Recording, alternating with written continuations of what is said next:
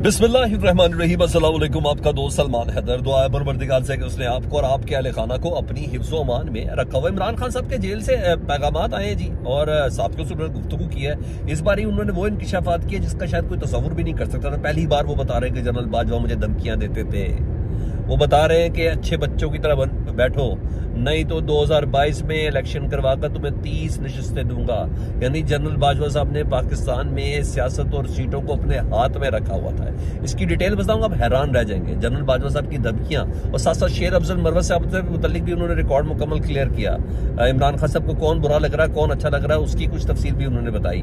और हाँ पहले से जो प्रोडिक्शन हो रही थी गिरफ्तारियों की, वो गिरफ्तारियों और नौ मई के हवाले से जो ज़िंदगी और हल्का सख्त करने के हवाले से थी। उसकी कुछ डिटेल्स भी मेरे सामने आई हैं। बड़ा इंटरेस्टिंग ब्लॉग होने जा रहा है और उसकी डिटेल आपके साथ शेयर करना बहुत ज़्यादा ज़रूरी है आपका हक है। और जब मैं ये ब्लॉग करते हुए इतनी करेज का मुजाहरा करूँ तो आप भी कमेंट सेक्शन में कमेंट्स करके ज़रूर उस करेज का मुजाहरा करें। चैनल देख रहे तो चैनल सब्सक्राइब कर दें ताकि आने वाले वक्त में मेरा और आपका ये रबता बाहर रहे जावेद चौधरी साहब ने जी आज आ, ये इंकशाफ किया, बल्कि कुछ दिनों से ये प्रडिक्शन वैसे ही चल रही थी कि अब तमाम मामला इलेक्शन के हवाले से सेटल डाउन हो गए, बल्ले का निशान ले लिया गया। कागजात नामजद की मुस्तर जिनके कराने थे, जिनके केस महफूज करवाने थे, या जिस तरीके से भी अभी भी तक ये उठाने का, बिठाने का, चलाने का, घुमाने का जो सिलसिला प्रेस कॉन्फ्रेंसेज ये सब चीज़ें ख़त्म हो गया अब एक नेक्स्ट प्रोसेस था। और नेक्स्ट प्रोसेस था कि अभी तक कन्विक्शन नहीं हो पा रही थी। नौ मई के हवाले से।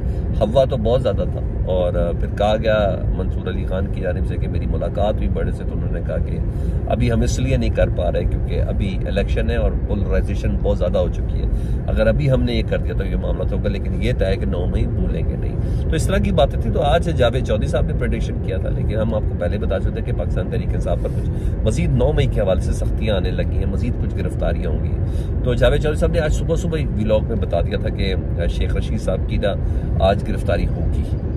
और उनकी गिरफ्तारी होगी, शेख रशीद साहब गिरफ़्तार होंगे और फिर इलेक्शन वो जेल से ही बैठ के लड़ेंगे। तो दो तीन महीने तक वो अंदर ही रहेंगे। तो इलेक्शन के बाद कहीं जाकर वो वापस आएँगे।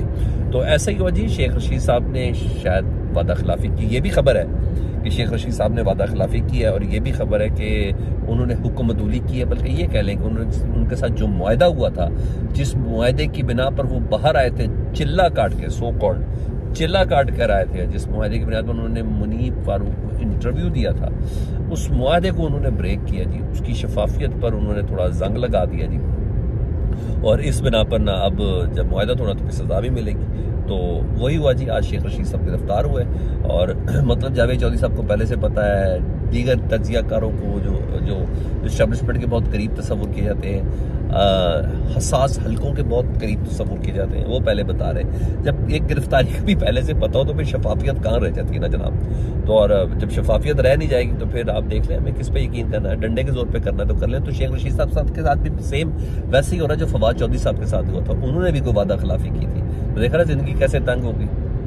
हाँ जी मेट्रस तक चोरी करने के, सोफे तक चोरी करने के उनके ऊपर मुकदमे बन चुके हैं। हालाँकि आराम से आज़ाद फिर रहे थे सुकून से थे। तो जनाब, जो जो वादा खिलाफी करेगा उसका भी पैरा पूरा देना, ताकि उनको भी मतलब वादा करो तो पक्का करो। जी हाँ फरमान भी यही है ना। तो फरमान पे अमल करने की जगह पाकिस्तान की पॉलिटिक्स है। तो अगर पॉलिटिक्स के अंदर रहना है तो वादा पूरा करना होगा। तो ये बहरहाल उधर हुआ। उधर जेल में सहाफ़ियों से गुफ्तु हुई इमरान खान साहब की आज। और काफ़ी चीज़ें क्लियर की ऐसे इंकशाफात किए जो इससे पहले कभी किए ही नहीं गए थे। वो कहते हैं कि मेरी हुकूमत जाने के बाद, इमरान खान साहब कह रहे हैं तेरी कदम अहतमाद के बाद, अप्रैल के बाद। उन्होंने कहा, मेरी हुकूमत जाने के बाद जनरल बाजवा साहब से मेरी दो मुलाकातें हुई हैं। और ये मुलाकातें शाह महमूद कुरैशी के हमरा हुई हैं। और मुजाकरातकार शाह महमूद कुरैशी होते थे। यानी मुजाकरात होते रहे, खान साहब बताना चाह रहे हैं कि ऐसा नहीं है कि मैं मुजाकरात नहीं किया हालात को सही करने के लिए। उन्होंने कहा कि मुजाकरात भी होते तो उन्होंने क्लियर की इस बात को।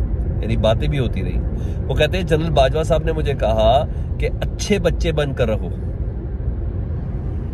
ये आर्मी चीफ साहब जो उस वक्त के थे, जनरल बाजवा साहब, वो इमरान खान साहब को ये कह रहे हैं कि अच्छे बच्चे बनकर रहो। अगर बात नहीं मानी तो 2022 में इलेक्शन कराकर सिर्फ़ 30 सीटें तुम्हें मिलेंगी। यार, वैसे हद हो गई है। अगर इस इंकशाफात के ऊपर, इस किस्म के इंकशाफ के ऊपर अगर वाकई कोई जुडिशल इंक्वायरी बिठा दी जाए जुडिशल कमीशन बिठा दिया जाए, मैं तो ख्वाहिश करूँगा इन तमाम चीज़ों पर जुडिशल ये वंस फॉर ऑल चीज़ें क्लियर होना बहुत ज़्यादा ज़रूरी है। तो इमरान खान साहब को जनरल बाजवा साहब मुबैना तौर पर यह धमकी दे रहे हैं कि अच्छे बच्चे बन के रहो, वरना 2022 में असम्बलियाँ तोड़ के और जारी बात है 2022 में तो असम्बली टूटी, अदम एतमाद हुआ, अदम एतमाद टूटी तो नहीं, लेकिन इसका मतलब है ये इमरान खान साहब जब प्राइम मिनिस्टर थे, ये उस वक्त कहा जा रहा था जनरल बाजवा साहब की तरफ़ से। उन्होंने कहा, मैं इंतखब करा के तुम्हें सिर्फ़ तीस सीटें दूँगा। तो बड़ी बात है जी, बड़ा इंकशाफ है। जनरल बाजवा साहब धमकियाँ देते थे। और फिर उन्होंने कहा, इमरान खान साहब ने कि अदलिया से मुतलिक सवाल हुआ ना कि इन फैसलों पर क्या कहेंगे? उन्होंने कहा, अदलिया पर अब मुझे भी यकीन नहीं है। अब मुझे अतमाद नहीं रहा कि इंसाफ देगी कि नहीं देगी। हाँ पीपल्स पार्टी वालों से मुतल उन्होंने कहा कि शुक्र करें, पीपल्स पार्टी के चंद लोग उठा लिए गए हैं, वरना ये भी हार जाते हैं। यानी उनके जीतने की गारंटी उनके लोगों का उठाया जाना यानी वो कह रहे हैं जितना मुझे कॉम्प्रेस किया गया, मेरे लोगों को उठाया गया, मेरे लोगों के कागजात नामजदगी मुस्तरद हुए, मारा पीटा जो फुटेज किया, ये सब चीज़ें पाकिस्तान की आवाम की नज़र में गारंटी है मुझे वोट देने की, मुझे जिताने की। उन्होंने कहा पीपल्स पार्टी के चंद लोग उठाए गए तो वरना वो भी हार जाते अगर ना होते। तो पीपल्स पार्टी भी मुकम्मल तौर पर हारती, कि उनकी किसी ना किसी जगह पे जीत की निशानी कि उनके कुछ बंदे हारे गए जो पाकिस्तान की आवाम ये सब चीज़ें जानती भी है और देख रही है। दूसरा उन्होंने बोला, तीसरी बात उन्होंने बोली, उन्होंने कहा, मेरी पहली और दूसरे दर्जे की लीडरशिप को अंडरग्राउंड कर दिया गया, उठा लिया गया, दबा दिया गया, किस, जो कुछ भी था, कागजात नामजदगी मुस्रद कर दिए गए। बल्ला मेरे से ले लिया गया, बल्लेबाज भी मेरे से ले लिया गया। अब मेरी अंडर 16 की टीम है, जिससे ये लोग डर रहे हैं, और अब ये उसके पीछे पड़े हुए हैं। इमरान खान साहब कह रहे हैं कि मैंने अंडर 16 थर्ड टीयर की जो मेरी लीडरशिप है ना, यानी जो तीसरा मुतबादल था जो अंडर सिक्सटीन डेफिनेटली वो कहलाएगा। मैंने कहा, ये उससे इस वक्त डर रहे हैं, उनके पीछे पड़े हुए शेर अफजल मरवत से मुतलिक उन्होंने बड़ी अहम बात की, चीज़ें को क्लियर किया और बड़े प्यारे तरीके से बताया। शेर अफजल मरवत, जी हाँ ये फ्रंट फुट पर खेलता है। ये मेरा खिलाड़ी है फ्रंट फुट पर खेलता है। थोड़ा जज्बाती है और जज्बातियत का आलम यह है कि कराची से लाहौर आना हो तो ये कोटा निकल जाता है। मैंने कहा, जो बोते बोल रहा है, सही है, मगर उस प्लेटफॉर्म पर नहीं बोलनी चाहिए उसको। वो थोड़ा जज्बातियों के थोड़ा एक्स्ट्रा ऑर्डनरी चला जाता है। क्यों उन्होंने बोला?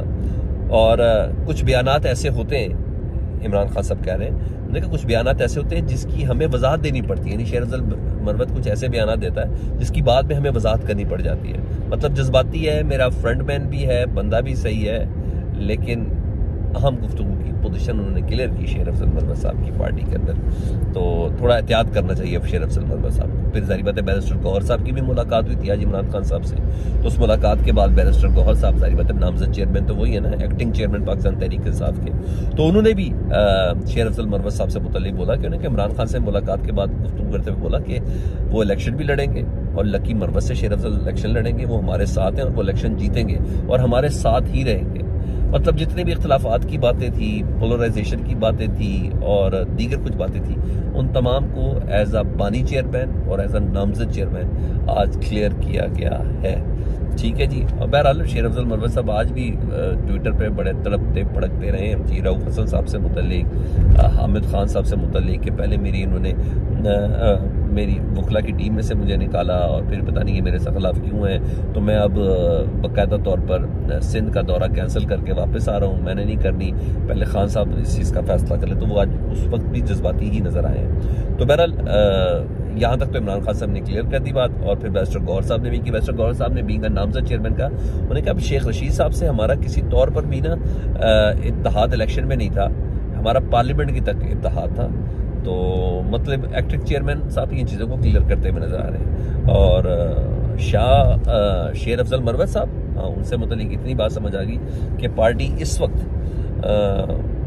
उनको निकालना या उनके खिलाफ एक्शन अफोर्ड नहीं कर सकती। शेर अफजल मरवत इस वक्त जिस ज़रूरत का मजारा करे ना, हकीकत यह है, चाहे किसी को बुरी लगे, पार्टी में इस वक्त ये ज़रूरत का मजारा कोई नहीं कर रहा। उस पार्टी के अंदर इरताश और जान रखी हुई है, जो मुराद सही से एक्सपेक्ट की जा रही थी तो ये थी तो वो तो आपको पता है अंडरग्राउंड है तो शेर अफजल मरवत इस वक्त पार्ट एंड पार्सल चल रहे हैं। आज जेल में आम चीज़ ये हुई कि इद्दत पे निकाह पर फर्द जुर्मायद हो गई थी इमरान खान सब दोनों मियाँ बीवी पर, और सारी बात है जनाब रज़ा की भी दफ़ा इसके अंदर है तो वो लगाई गई है। तो इस्लामाबाद हाईकोर्ट में अपील की गई है, अब देखते हैं वो इन दफ़ात को कैसे देखती हैं, इस पर स्टे कैसे देती है।